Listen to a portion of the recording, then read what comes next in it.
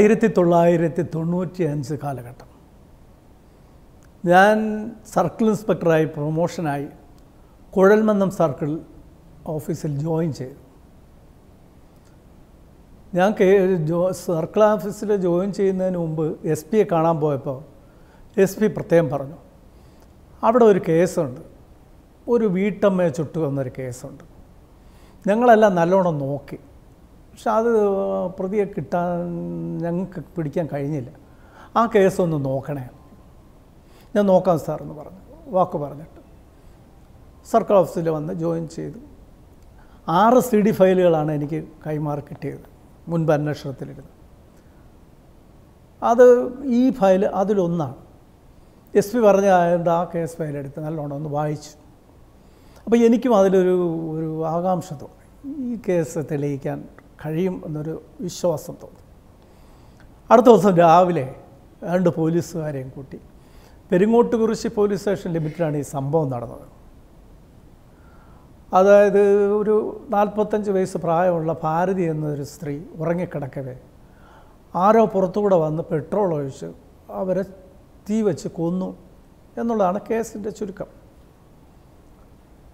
അപ്പോൾ രാവിലെ ഞാൻ പോലീസുകാരുമായിട്ട് അവിടെ ചെല്ലുമ്പോൾ ഒരു നല്ല ഗ്രാമപ്രദേശം. വയലുകളിങ്ങനെ തളർത്ത് നിൽക്കുന്നു. അതിനെ തഴുകി വരുന്ന കുളിർകാറ്റ് പക്ഷിമൃഗാദികൾ അതിന്റെ കളകളാരവങ്ങൾ. അതെല്ലാം എന്റെ മനസ്സിലൊരു ഗൃഹാതിരത്വം ഉണർത്തി ഞാനും ഇതേപോലെ ഒരു ഗ്രാമത്തിലാണ് ജനിച്ചു വളർന്നത്. മെല്ലെ നടന്ന് ആ വീട്ടിന് മുമ്പിലെത്തി. ഒരു നിര അടുത്തടുത്തായി ഒരു പത്ത് എട്ട് പത്ത് കുടിലുകളാണ് കുടിലുകളെന്ന് പറഞ്ഞാൽ ഓലമേഞ്ഞ കുടിലുകൾ. ഈ സംഭവം നടന്ന കുടിലെന്ന് പറഞ്ഞാൽ ഒരു പത്ത് സെന്റ് സ്ഥലം. അത് വേലി കെട്ടി ചുറ്റും വേലി കെട്ടി ബന്ധസാക്കിയിരിക്കുന്നു അതിനകത്തൊരു വീട്. ആ വീട് മൺചുവര് കൊണ്ടാണ് ഉണ്ടാക്കിയിരിക്കുന്നത്. ഒരു തറയിൽ നിന്നും ഒരു മൂന്നാലടി പൊക്കത്തിൽ മണ്ണിട്ട് പൊക്കിയിട്ട് അതിൽ മൺചുവര് കെട്ടി അടുക്കള ബാക്കിലൊരു അടുക്കള നടുക്കൊരു മുറി അതിന്റെ ഫ്രണ്ടിലൊരു കോല. അതിന് രണ്ടടി പൊക്കമുള്ള കൈവരിയേ ഉള്ളൂ ഈ കോലായി അവിടെയാണ് ഈ സംഭവം നടന്ന സ്ഥലം. ആ കോലായിലാണ് ആ വീട്ടമ്മ കിടന്നത്. അവിടെ നമ്മൾ അടുത്ത് ചെല്ലുമ്പോൾ ഒരു ആരോ കട്ടിൽ കിടക്കും പോലെ തോന്നി. അടുത്ത് നിന്ന് തട്ടി വിളിച്ചപ്പോഴാണ് തൊണ്ണൂറ് വയസ്സ് കഴിഞ്ഞ ഒരു അമ്മച്ചി മുത്തിയമ്മ. ഞങ്ങളെ കണ്ടതും പേടിച്ച് അവർ കരയാൻ തുടങ്ങി. അയ്യോ എന്റെ മോൾ പോയേ എന്റെ മോൾ പോയേ. അവരെ ആശ്വസിപ്പിച്ചിട്ട് പുറകോട്ടിറങ്ങി നിന്നു. അപ്പോഴാണ് ഞങ്ങൾ ചുറ്റുമൊക്കെ നോക്കി നടക്കുമ്പോഴാണ് അടുത്ത വേലിക്കെട്ടുകളിലൊക്കെ ചില തലകളൊക്കെ ഇങ്ങനെ പൊങ്ങി വരുന്നത്. ഞാൻ അവരെ വിളിച്ചു കൈ കാണിച്ച് വിളിച്ചു. വരൂ ആദ്യം വന്നത് സുകുമാരനാണ്. അന്നും ഭാരതീയമ്മ തീയെടുത്താനൊക്കെ ആയിട്ട് ആദ്യം വന്നത് സുകുമാരൻ തന്നെയാണ് അല്ലേ? അതെ സാർ ഞാനാണ് ആദ്യം ഓടിയെത്തിയത്. എന്റെ കൂടെ ഒരു നാല് പേരും സ്ത്രീകളും ഒക്കെ ഉണ്ടായിരുന്നു. നിങ്ങൾ വന്ന് കാണുമ്പോൾ എന്താ കണ്ടത്? അത് സാർ ഞങ്ങൾ വരുമ്പോൾ ഈ ഭാരതിയമ്മ കിണർ കിണർ വെക്കുന്നതിന് നിലവിളിക്കുന്നു. അവരുടെ മകൾ മകളും സഹോദരന്റെ മകൻ സുരനും കൂടെ അവരെ തീകൾ തീ അണയ്ക്കാൻ വേണ്ടിയുള്ള ശ്രമത്തിൽ വെള്ളം പുറത്തിരുന്ന വെള്ളമൊക്കെ തീർന്നു. കിണറിൽ നിന്ന് വെള്ളം കോരാനുള്ള ശ്രമമാണ്. ഞങ്ങൾ ഓടി വന്ന് കിണറ്റിനകത്തുനിന്ന് വെള്ളം കോരി അവർ ദേഹത്തൊഴിച്ച് തീയെല്ലാം അണച്ചു. അവർക്ക് അല്പം ആശ്വാസമായി. അവർ നല്ലവണ്ണം സംസാരിക്കുന്നുണ്ടായിരുന്നു. അവർ ഞങ്ങളുടെ അടുത്ത് നിങ്ങളുടെ അടുത്ത് എന്താ പറഞ്ഞു അവർ അവർ പറഞ്ഞത് സാർ ഞാൻ ഞാൻ കിടക്കുമ്പോൾ രാത്രി പന്ത്രണ്ട് മണി സമയത്ത് എന്റെ ദേഹത്ത് ആരോ വെള്ളം ഒഴിച്ചെന്ന് തോന്നി. പക്ഷേ ഞാൻ തൊട്ട് നോക്കിയപ്പോൾ അതിൽ പെട്രോളിന്റെ മണക്കെന്നാണ് തോന്നി. ഞാൻ ഉടനെ വിളിച്ചു ഇവിടെ സുര മോനെ നീ ആ വിളക്കൊന്ന് കത്തിക്ക് എന്ന് പറഞ്ഞു. സുരൻ വിളക്ക് കത്തിക്കാൻ തുടങ്ങുന്നതും മറുവശത്ത് നിന്ന് തീ ആളിക്കത്തി ഭയങ്കര പുകയും ഒക്കെ വന്ന്. അപ്പോൾ അതിനിടയ്ക്കൂടെ ആരോ ഓടിപ്പോകുന്നത് പോലെ എനിക്ക് തോന്നി. ഇതാണ് ആ സ്ത്രീ പറഞ്ഞത്. അപ്പോൾ ഓടിപ്പോയെങ്കിൽ അതിനിടയ്ക്ക് നിങ്ങൾ വരുന്നുണ്ടായിരുന്നില്ല. ആരെങ്കിലും ഓടിപ്പോകുന്നത് നിങ്ങൾ ആരെങ്കിലും കണ്ടായിരുന്നു. സാർ ഞങ്ങൾ കണ്ടില്ല. മാത്രമല്ല ഇവിടെ അടുത്തുള്ള എല്ലാ വീട്ടിലും പട്ടിയുണ്ട്. ആരെങ്കിലും അപരിചിതർ വന്നാൽ ഈ പട്ടികൾ ഭയങ്കര കുരയാണ്. അങ്ങനെ ഒരു കുര ഞങ്ങളാരും കേട്ടുമില്ല. അപ്പോൾ അതിന്റെ അർത്ഥം ആരും ഓടിപ്പോയില്ല എന്ന് തന്നെയാണ്. അതെ സാർ ഞങ്ങൾക്ക് ഉറപ്പാണ് ആരും ഓടിപ്പോയില്ല. നിങ്ങൾ വന്നപ്പോൾ ഗേറ്റ് തുറന്നു കിടക്കായിരുന്നു. അല്ല അല്ല അല്ല സാർ. ഗേറ്റ് അടച്ചിരുന്നു ഒരു കമ്പി കൊളുത്തിട്ട് ഇങ്ങനെ കൊളുത്തി വെച്ചിരിക്കുകയായിരുന്നു. ആ കൊളുത്തിളക്കിയിട്ടാണ് ഞങ്ങൾ ഇറങ്ങി വന്നത്. ഓ അപ്പം ഇതിനിടയിൽ ആ ശിവൻ അടുത്ത് നിൽപ്പുണ്ട് ശിവനാണ് സാറ് ജീപ്പ് വിളിച്ചുകൊണ്ട് വന്നത്. ആ റോഡ് ചെന്ന് ഒരു ആളെ തട്ടി ഉണർത്തി ജീപ്പ് കൊണ്ടുവന്നു. ജീപ്പ് കൊണ്ടുവന്നു അപ്പുറം മാറ്റി നിർത്താനും ഒക്കെ ഉണ്ടായിരുന്നു. അപ്പോൾ കൊണ്ടുവന്ന് നിർത്തിട്ട് അപ്പോഴത്തേക്ക് ഈ ഭാരതിയമ്മ ഇങ്ങനെ വേദന കൊണ്ട് പുളയുകയായിരുന്നു. അപ്പോൾ ഞങ്ങളൊരു വാഴയില വെട്ടി ഒരു ഷീറ്റ് വിരിച്ചിട്ട് ഒരു വാഴയില വെട്ടി അതിലിട്ടിട്ട് അവരെ അതിൽ കിടത്തിയിട്ട് ഷീറ്റ് ഇങ്ങനെ നാല് സ്വിച്ചൊന്ന് പിടിച്ച് ആണ് എടുത്തുകൊണ്ട് പോയി ജീപ്പ് കിടത്തിയത്. അപ്പോൾ നിങ്ങൾ ആരൊക്കെയാണ് പോയത്? ഞാനുണ്ട് ശിവനുണ്ട് വേറെ രണ്ട് പേരും കൂടെ ഉണ്ടായിരുന്നു. പിന്നെ ഇവരുടെ മരുമകൻ സുരനും കൂടെ ഉണ്ടായിരുന്നു. ഞങ്ങൾ ഒരുമിച്ചാണ് ആശുപത്രി പോയത്. ഓ അവിടെ ചെന്നപ്പോഴും അവർ വേദന കൊണ്ട് പുളകയായിരുന്നു. അപ്പോഴും അവർ പറയുന്നത് ഞാനിങ്ങനെ ഓടിപ്പോയി ഒരുത്തനെ കണ്ടു കണ്ടു എന്നാണ് അവർ പറയുന്നത്. അങ്ങനെ ഞങ്ങൾ അവിടെ നിന്ന് രാത്രി പോരുകയും ചെയ്തു. രണ്ട് ദിവസം അവർ വേദന കൊണ്ട് അവിടെ പുളഞ്ഞ് കിടന്നു. രണ്ടാമത്തെ ദിവസം വൈകുന്നവിടത്തോടുകൂടി അവർ മരണപ്പെട്ടു സാർ. അത് ശരി. അപ്പം നിങ്ങൾ ഈ ഓടിപ്പോയ ആളെ കണ്ടില്ലെന്നാണ് പറയുന്നത്. അവർ പറയുകയും ചെയ്തു. അങ്ങനെയാണ് ഇവരോട് സംസാരിച്ചുകൊണ്ട് നിന്നപ്പോഴാണ് ഒരു പെൺകുട്ടി നടന്നിങ്ങനെ വരുന്നതാണ് അപ്പം ഇതാരാ? ഇതാണ് ഭാരതി അമ്മയുടെ മകൾ. അവൾ പത്താം ക്ലാസ് പഠിക്കുന്നു. നല്ല ശാലീനായ ഒരു കുട്ടി. ശാന്തിനി. എന്താ കുട്ടിയുടെ പേര്? ശാന്തിനി. ഏത് ക്ലാസ്സിൽ പഠിക്കുന്നു? ഞാൻ പത്താം ക്ലാസ് പഠിക്കുകയാണ് സാർ. ഏത് സ്കൂളിൽ? ഇവിടുത്തെ പെരുങ്ങോട്ടൂർ ഋഷി ഹൈസ്കൂളിലാണ് അന്ന് രാത്രി മോൾ എന്താ കണ്ടത്? അതെന്റെ ഞാൻ അമ്മയുടെ കട്ടിലിന്റെ താഴെയായിരുന്നു കിടക്കുന്നത്. അന്ന് പാ വിരിച്ച് കിടന്നു. എന്റെ തലക്കലാണ് സുരജേട്ടൻ കിടക്കുന്നത്. അപ്പോൾ രാത്രി പന്ത്രണ്ട് മണിയോടുകൂടിയാണ് അമ്മ ഇങ്ങനെ നിലവിളിച്ചത്. മോനെ എടാ സുര വിളക്ക് കത്തിക്കുക എന്റെ ദേഹത്താരോ പെട്രോളോ വെള്ളമോ എന്തോ ഒഴിച്ചെന്ന്. അങ്ങനെ സുരജേട്ടൻ തീപ്പെട്ടി എറിച്ച് വിളക്ക് കത്തിക്കുന്നതിനിടയിലാണ് അപ്പുറത്ത് തീ ആളി കത്തിയതും. അമ്മ പറഞ്ഞ ആരോ ഓടിപ്പോകുന്ന കണ്ടു എന്ന് പറഞ്ഞു. എന്നിട്ട് എന്നിട്ട് അമ്മ അവിടെ നിന്ന് ഓടി ഇറങ്ങി ഓടി കിണറ്റ് വെക്കലേക്ക് എന്ന് ഞങ്ങൾ ഞാനും സുരഞ്ചേട്ടനും കൂടെ അവിടെ കിടന്ന കട്ടിലിൽ തീ കിടന്ന തീയെല്ലാം തുണി കത്തിക്കൊണ്ടിരുന്ന എല്ലാം ചവിട്ടി അണച്ചിട്ടിട്ട് ഞങ്ങൾ നേരെ അമ്മയുടെ അടുത്ത് പോയി. കിണറ്റിലൊക്കെ ചെന്നപ്പോൾ പുറത്തിരുന്ന വെള്ളം അടുത്ത് ഒഴിച്ചിട്ട് തീർന്നു. കിണറ്റിൽ നിന്ന് വെള്ളം കോരി എടുക്കാൻ തുടങ്ങുമ്പോഴാണ് അടുത്ത വീട്ടിലെ ആളുകളൊക്കെ വന്നത്. ഓ അവർ വന്ന് തീയൊക്കെ കടന്ന് പിന്നീട് തന്നെയാണ് അമ്മ ആശുപത്രി കൊണ്ടുപോയത്. മോൾ കൂടെ പോയില്ലായിരുന്നു. ഇല്ല എനിക്ക് ജീപ്പ് സ്ഥലമില്ലായിരുന്നു. ഞാൻ പോയില്ല ഞാനിവിടെ തന്നെ ഉണ്ടായിരുന്നു. സംസാരിച്ചുകൊണ്ടിരിക്കുമ്പോഴാണ് ഒരു മൂന്നാൽ പേര് കയറി വന്നത്. വന്നുടനെ അവർ തമ്മ താനേതാണ് സംസാരിക്കുന്നത്? ഓ രണ്ട് മാസമായി എസ് പിയും വി വി എസ് പിയും എല്ലാം കൂടെ ഇവിടെ കിടന്ന് കറങ്ങിയിട്ട് ഒരു പ്രതിയെ പിടിക്കാൻ കഴിഞ്ഞില്ല. ഇനി എപ്പോഴാണോ പ്രതി വന്ന് നിന്നു കൊടുക്കുന്നത് പിടിക്കാനായിട്ടൊക്കെ? ആദ്യം ശ്രദ്ധിക്കാതെന്നെങ്കിലും ഇവരുടെ സംസാരം ഒന്ന് ഒന്ന് കടുപ്പിച്ചപ്പോൾ ഞാനും ഒന്ന് നോക്കി അവർ അതിന് പ്രതിയെ ഞങ്ങൾ അവന്റെ പേരുകൾ പറഞ്ഞു കൊടുത്തിട്ട് പോലും അവനെ പിടിക്കാൻ വയ്യ. എല്ലാം അവർ അവരുടെ ഇഷ്ടത്തിനല്ല ഇവരുടെ സംസാരം കൂടിയപ്പോൾ ഞാൻ വിളിച്ച് ചോദിച്ചു എന്താ? അത് ഞങ്ങളിവിടുത്തെ ഈ സമരസമിതിയുടെ ആളുകളാണ്. ആ സമരസമിതിയുടെ ആളുകളൊക്കെ വെളിയിൽ ഇത് ഞാൻ കേസ് അന്വേഷിക്കാൻ വന്നതാണ്. അപ്പോൾ എന്റെ അന്വേഷണത്തെ തടസ്സപ്പെടുത്തിയാൽ ഞാൻ നടപടിയെടുക്കും. നിങ്ങൾക്ക് വല്ലതും പറയാനുണ്ടെങ്കിൽ പറയേണ്ട സ്ഥലത്ത് പറയണം. ഞാനിപ്പോൾ കേസ് അന്വേഷിക്കുന്ന സ്ഥലമാണ് ഇവിടെ. ഒരു പോലീസുകാരൻ പറഞ്ഞു അവർ പറയുന്നതിന് കാരണമുണ്ട് സാർ. രണ്ട് മാസം മുമ്പ് ഈ ഒരു പയ്യൻ വന്ന് ഇവരെ ഭീഷണിപ്പെടുത്തി. അവരെ അച്ഛനെ ഈ മേലാൽ ഈ വീട്ടിൽ വിളിച്ച് വരുത്തുകയാണെങ്കിൽ ഞാൻ തീ കൊളുത്തി കൊല്ലുമെന്ന് അവരെ ഭീഷണിപ്പെടുത്തിയിട്ടുണ്ടായിരുന്നു. അവനെ പിടിച്ചില്ലെന്നാണ് ഇവരുടെ പരാതി.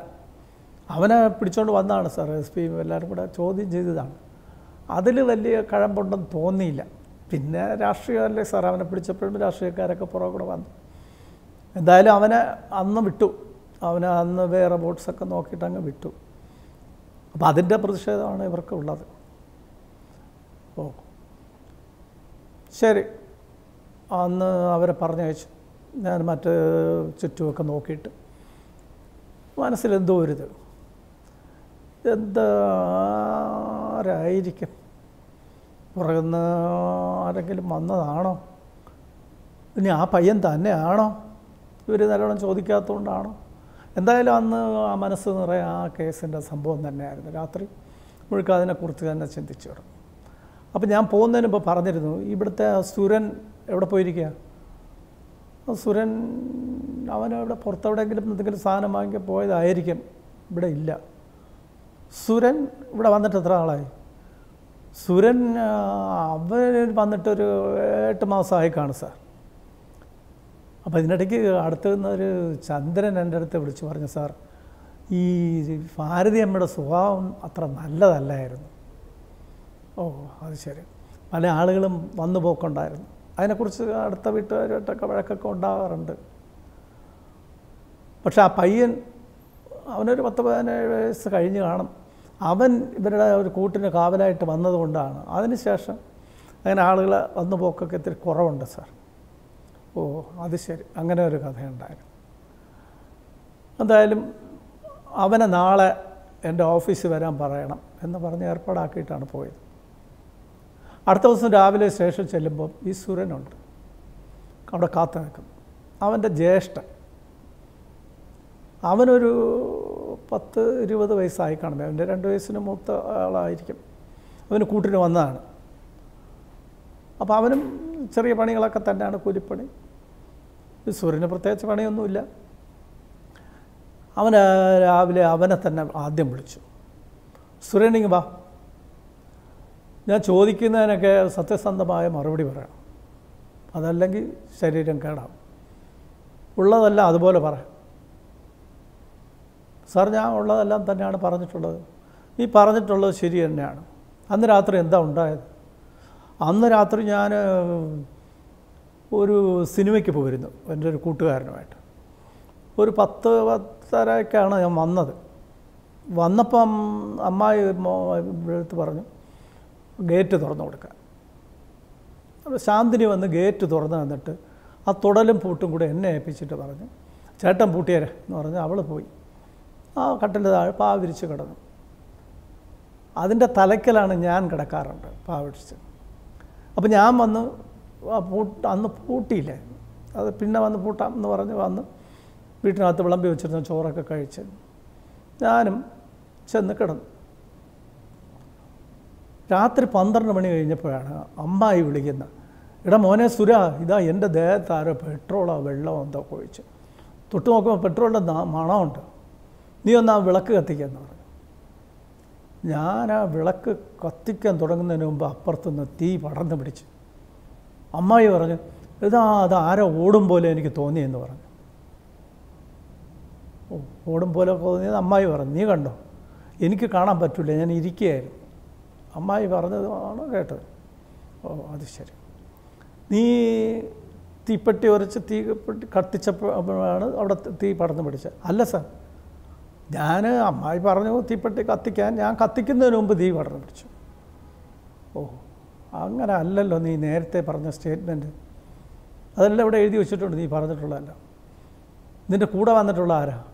അതെന്റെ ചേട്ടനാണ്. അവനെങ്ങ് വിളിക്കുക അവനെ വിളിച്ചു. എടാ നിന്റെ അനുജൻ സുരൻ പറയുന്നു ഇവൻ തീപ്പെട്ടി അന്ന് കത്തിച്ചില്ലെന്നാണ് പറയുന്നത്. നിന്നോട് എന്താ പറഞ്ഞിട്ടുള്ളത്? സാറേ അമ്മായി അവനെ വിളിച്ച് പറഞ്ഞു വിളക്ക് കത്തിക്കാൻ. അവൻ തീപ്പെട്ടി കുറച്ച് വിളക്ക് കത്തിച്ച ഉടനെയാണ് അപ്പുറത്ത് നിന്ന് തീ പടർന്ന് പിടിച്ചതെന്നാണ് എന്നോട് പറഞ്ഞിട്ടുള്ളത്. എന്നിട്ട് അവൻ പറഞ്ഞ് കത്തിച്ചില്ല എന്ന് പറഞ്ഞു. ഇല്ല സാറേ എന്നോട് പറഞ്ഞിട്ടുള്ള കത്തിച്ചു എന്നാണ് എന്നെ പറഞ്ഞിട്ടുള്ളത്. ശരി നീ പുറത്തേക്ക് നിനക്കെന്താ ജോലി? ഞാൻ കൂലിപ്പണിക്കൊക്കെ പോകും സാർ. എല്ലാ പണിക്കും പോകും. ആ ഞാൻ വിളിക്കാം. വീണ്ടും സുരനെ വിളിച്ച് ചോദിച്ചു എടാ രണ്ട് പേരിൽ ആരോ ഒരാൾ കള്ളം പറയുന്നുണ്ട്. കാരണം നീ എല്ലാവരോടും പറഞ്ഞിട്ടുണ്ട് തീപ്പെട്ടി കത്തിച്ചോ? ഇപ്പോൾ പറയുന്നത് തീപ്പെട്ടി കത്തിച്ചില്ല എന്ന്. അപ്പോൾ ഒന്നിൽ നീ കള്ളം പറയുന്നു അല്ലെങ്കിൽ നിന്റെ ജ്യേഷ്ഠൻ കള്ളം പറയുന്നു. രണ്ടിലാർക്കെങ്കിലും അടി ഉറപ്പാണ് ആരാ അടി വാങ്ങിക്കാൻ തയ്യാറാവുന്ന? വേണ്ട സാർ ഞാനെല്ലാം പറയാം.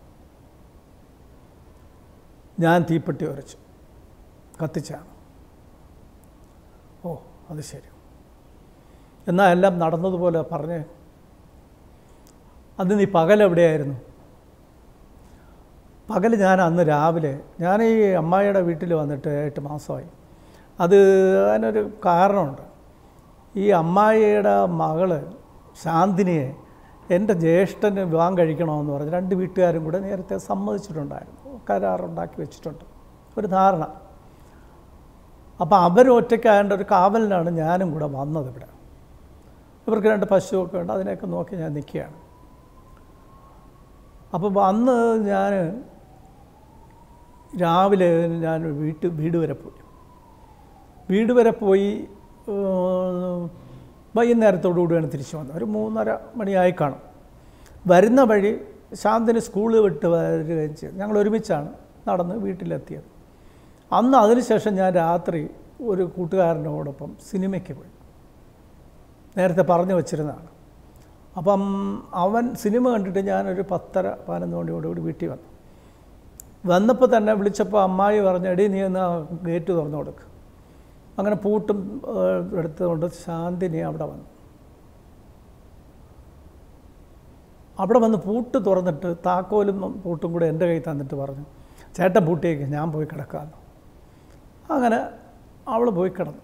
ഞാൻ ആ പൂട്ട് പൂട്ടിയില്ല. ഞാൻ അവിടെ തൊടലും കൂടെ അവിടെ ഒരു സൈഡിൽ കൊരുത്ത് വെച്ചിട്ട് ഞാൻ വന്ന് വീട്ടിനകത്ത് ചോറ് വിളമ്പി വെച്ചിട്ടുണ്ടായിരുന്നു. അതെല്ലാം കഴിച്ച് തിരിച്ച് വന്ന് പഴയതുപോലെ കിടക്കുകയും ചെയ്തു. പക്ഷെ ഞാനൊരു കാര്യം ചെയ്തു. രാവിലെ വീട്ടിൽ പോയപ്പോൾ ഒരു ഒരു ക്യാൻ വിലയ്ക്ക് വാങ്ങിച്ചിട്ട് അതിലൊരു ലിറ്റർ പെട്രോൾ ഇവിടെ വാങ്ങി കൊണ്ടുവന്നിരുന്നു. എന്താണ് എന്റെ ഉദ്ദേശമായിരുന്നു? അത് സാർ ഞാൻ ഉള്ള സത്യമൊക്കെ പറയാം. എന്റെ ജ്യേഷ്ഠൻ കല്യാണം കഴിക്കാൻ പോകുന്ന ഈ ശാന്തിനി അവൾക്ക് പതിനേഴ് വയസ്സാവും പോകുന്നു. എന്റെ ജ്യേഷ്ഠനൊരു പത്തിരുപത് വയസ്സാവും. പത്തനംതിട്ടത്തിൽ പഠിക്കുകയല്ലേ. അപ്പോൾ എന്റെ അമ്മായിയുടെ സ്വഭാവം അത്ര നല്ലതല്ല എന്ന് പറഞ്ഞു കേട്ടിട്ടുണ്ടെങ്കിലും എന്റെ അനുഭവത്തിൽ ഞാൻ ചില കാര്യങ്ങൾ കണ്ടു. അപ്പോൾ ഒരു ആളോട് അമ്മായി ഒരിക്കൽ പറയുന്നത് ഞാൻ കേട്ടു. അവൾ പഠിക്കുകയല്ലേ? പഠിച്ച് കഴിയട്ടെ. എന്നിട്ട് രംഗത്തിറക്കാം. അപ്പം ഞാൻ നോക്കാം നിങ്ങളെ ഈ വാക്ക് ഞാൻ എന്റെ മനസ്സിൽ തറച്ചു. അപ്പോൾ ഈ അമ്മായി ഈ മകളെയും കൂടെ ചീത്തയാക്കും അപ്പോൾ എന്റെ ജ്യേഷ്ഠന് വിവാഹം കഴിക്കാൻ കൊണ്ടുള്ള പെണ്ണാണ്. അപ്പോൾ അതിനെ ഈ അമ്മായി ചീത്തയാക്കുമെന്ന് പറഞ്ഞാൽ അന്നേ മനസ്സിലൊരു ചെറിയ ഇതുണ്ടായി. അപ്പോൾ അതുകൊണ്ടാണ് ഞാൻ അന്ന് പെട്രോളൊക്കെ കൊണ്ട് ഒഴിച്ചുകൊണ്ട് വീട്ടിൽ വന്നിട്ട് ശാന്തിനിയോടൊപ്പം വന്ന വന്നിട്ട് അത് കുടിച്ച് വെച്ചിട്ടാണ് ഞാൻ സിനിമയ്ക്ക് പോയത്. പോയിട്ട് വന്ന ആഹാരം കഴിച്ചതിന് ശേഷം ഈ ക്യാൻ തുറന്ന് അതിലൊരു പ്ലാസ്റ്റിക് കവറിൽ ഈ പെട്രോൾ ഒഴിച്ചിട്ട് റബ്ബർ ബാൻഡ് ഇട്ട് വെച്ചിട്ട് എന്റെ തലയ്ക്ക് വെച്ചിട്ടാണ് ഞാൻ കിടക്കുന്നത്. അപ്പം ഞാൻ ചോദിക്കട്ടെ നീ അവിടെ കിടക്കുന്നതിന് മുമ്പ് ഒരു അരക്കിലാമ്പ് അവിടെ ഉണ്ടായിരുന്നു കത്തിച്ച് വെച്ചിരുന്നു അതിനെ തിരി താഴ്ത്തി സൈഡിലോട്ട് മാറ്റി തൂക്കിയെന്ന് നീ നേരത്തെ പറഞ്ഞിട്ടുണ്ട്. അങ്ങനെയാണ് സാർ.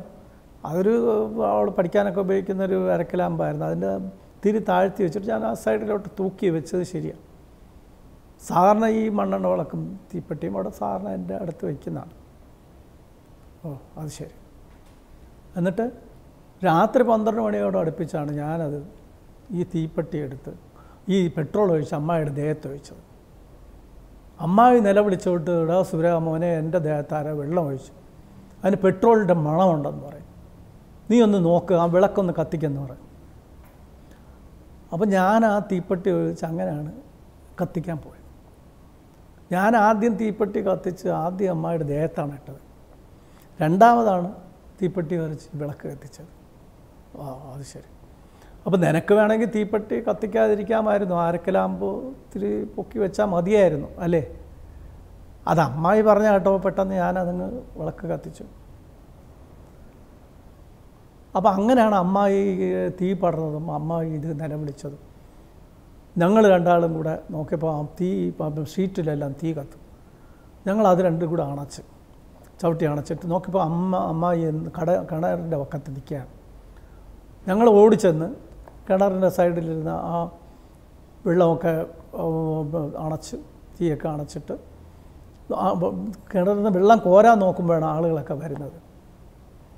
ഓ അത് ശരി. വന്നിട്ട് അവരെല്ലാവരും കൂടെ തീയൊക്കെ അണച്ചിട്ട് അമ്മാവിയെ ഒരു ജീപ്പ് വിളിച്ചുകൊണ്ട് വന്ന് അവരെല്ലാം കൂടെ ആശുപത്രി കൊണ്ടുപോയി. എന്റെ കൈക്കും പൊള്ളലുണ്ടായിരുന്നതുകൊണ്ട് എന്നെയും കൂടെ അവർ ആ ഹോസ്പിറ്റലിൽ കൊണ്ടുപോയി. അത് ശരി. നിന്നെ ഇതിനു മുമ്പ് പോലീസ് ഓഫീസർമാരൊന്നും ചോദിച്ചില്ലായിരുന്നു? ചോദിച്ചു. അവരൊന്നും കാര്യമായിട്ടൊന്നും ചോദിച്ചില്ല. എന്റെ അടുത്ത് ഇങ്ങനെ വിവരമൊക്കെ ചോദിച്ചു ഞാൻ പറയുകയും ചെയ്തു. അപ്പോൾ ഞാൻ ചോദിക്കട്ടെ നിന്റെ ജ്യേഷ്ഠൻ കൂടെ അന്ന് രാത്രി വന്നിട്ട് നിങ്ങൾ രണ്ടുപേരും കൂടെ അല്ലേ അത് കത്തിച്ചത്? അമ്മാവി. അല്ല സാർ അല്ല സാർ. അവൻ വന്നതേ ഇല്ല അപ്പോൾ ഇവന്റെ അടുത്ത് വിളിച്ചിട്ട് അവനൊന്ന് പരിശോധിച്ചപ്പോൾ അവന്റെ ദേഹത്ത് പോക്കറ്റ് നിറയെ ഒന്ന് രണ്ട് പൊതികളൊക്കെ. ഈ പൊതികൾ എന്തിനാടാ? അത് ഓരോ പൂജാരിമാരൊക്കെ പൂജിച്ച് തന്നാണ് സാർ. എന്തിന്? അത് പോലീസ് പിടിക്കാതിരിക്കാനാണ്. ഓ. അപ്പം നീ ആ ധൈര്യത്തിലാണ് നടന്നത്. ആരോടും ഒന്നും പറയാത്തത് ഇനി നിന്റെ സിനിമയ്ക്ക് പോയ കൂട്ടുകാരനെ പിടിച്ച് രണ്ടെണ്ണം കൊടുത്താലോ? അവനും കൂടെ വന്നിരാൻ വേണ്ടിയല്ലേ നീ ഗേറ്റ് പൂട്ടാതെ ഇട്ടിരുന്നു അല്ല സാർ. എന്റെ മനസ്സിൽ അന്ന് തോന്നിയതാണ് എന്റെ ജ്യേഷ്ഠൻ കല്യാണം കഴിക്കാൻ പോകുന്ന ഈ ശാന്തിനെ അമ്മാവ് ചീത്തയാക്കും. അപ്പോൾ അതിനു മുമ്പ് അമ്മായി ഒഴിവാക്കണമെന്ന് തീരുമാനിച്ചാണ് അപ്പോൾ അങ്ങനെയാണ് ഞാൻ ചെയ്തത് സാർ. സത്യമാണ്? ഈ പറഞ്ഞതെല്ലാം സത്യമാണ്? അതെ സാർ ഞാൻ ഒറ്റയ്ക്ക് ചെയ്തതാണ്. ഓ. ശരി നിന്റെ അവന്റെ സ്റ്റേറ്റ്മെന്റ് എടുക്കാനുള്ള എല്ലാ ഏർപ്പാട് ചെയ്തിട്ട്. എസ് പിയെ വിളിച്ചു. സാറാ ഭാരതിയമ്മ കേസിൽ പ്രതിയെ കിട്ടി സാർ. ഏ? അതെങ്ങനെ? ഞങ്ങളൊക്കെ ആവും വിധം പരിശ്രമിച്ചല്ലേ രണ്ട് മാസം അവിടെ കിടന്ന് അന്വേഷിച്ചതാണല്ലോ. അതാ എം എൽ എ കിടന്ന് ഞങ്ങളെ എന്നും വിളിക്കുമായിരുന്നു അവർ അങ്ങേരെ വീട്ടിനടുത്തുള്ള സംഭവമാണ്. അത് തെളിയിക്കണമെന്ന് പറഞ്ഞു. അതുകൊണ്ടാണ് ഞങ്ങളെല്ലാം നല്ലോണം നോക്കിയത്. എന്തായാലും കിട്ടിയല്ലോ കൺഗ്രാലേഷൻ നല്ല സന്തോഷമായി. എല്ലാവരെയൊക്കെ വിളിച്ചു പറഞ്ഞു. എല്ലായിടത്തും നാല് ഭാഗത്തു നിന്നും അഭിനന്ദനം.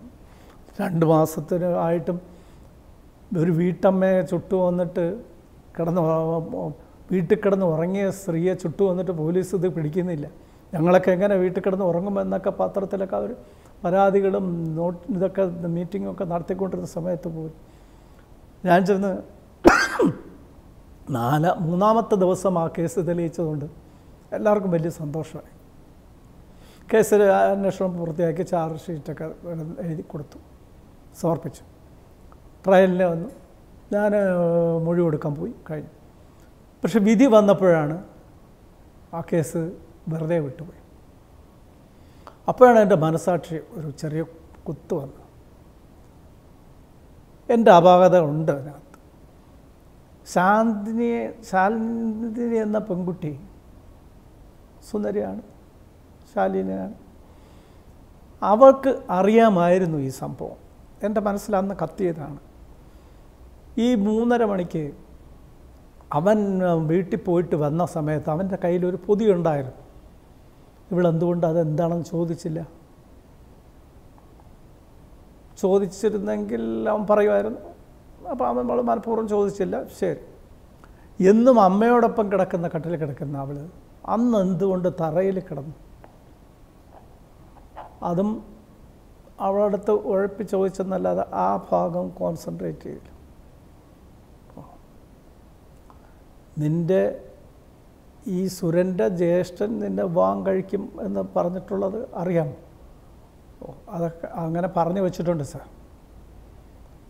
അപ്പം അതുകൊണ്ട് ഇവൾ കൂടെ അറിഞ്ഞുകൊണ്ടാണ് ഇത് ചെയ്തതെന്ന് എന്റെ മനസ്സിൽ അന്നുണ്ടായിരുന്നെങ്കിലും ഞാനത് ആ ഭാഗം കൂടുതൽ ശ്രദ്ധിച്ചില്ല. ഒരു പക്ഷേ അന്ന് ഈ ഭാഗം കൂടെ ക്ലിയർ ചെയ്ത് അവൾക്കറിയാമായിരുന്നു എന്ന് എനിക്കും ഒരു സംശയം ഉണ്ടായിരുന്നു. ആ ഭാഗം കൂടെ ക്ലിയർ ചെയ്ത് അവളെയും കൂടെ പ്രതിയാക്കി കൊടുത്തിരുന്നെങ്കിൽ ഈ എല്ലാ സാക്ഷികളും ഹോസ്റ്റലിലാവില്ലായിരുന്നു വേണ്ട പോട്ടെ. ഈ വിധി വന്ന സമയത്ത് ആ കുട്ടി ഇവന്റെ ജ്യേഷ്ഠന്റെ ഭാര്യയാണ്. അവൾ നല്ലൊരു കുടുംബിനിയായിട്ട് സുഖമായിട്ട് ജീവിക്കുന്നു. അവന്റെ അനിയൻ കേസിൽ നിന്ന് പുറത്തു വന്നു. എല്ലാം ശാന്തമായി. എനിക്ക് ഒരു മനസാക്ഷി കുത്തും ഉണ്ടായില്ല. പക്ഷേ ആ ഉറങ്ങിക്കിടന്ന വീട്ടമ്മയെ ചുട്ടുവന്നെന്ന് പറഞ്ഞ കേസ് ചാർജ് എടുത്ത് മൂന്നാം ദിവസം തെളിയിച്ചു എന്നുള്ള ഇന്നും ഞാൻ അഭിമാനത്തോടെ ഓർക്കുന്നു. ഈ കഥ ഇവിടെ അവസാനിക്കുന്നു.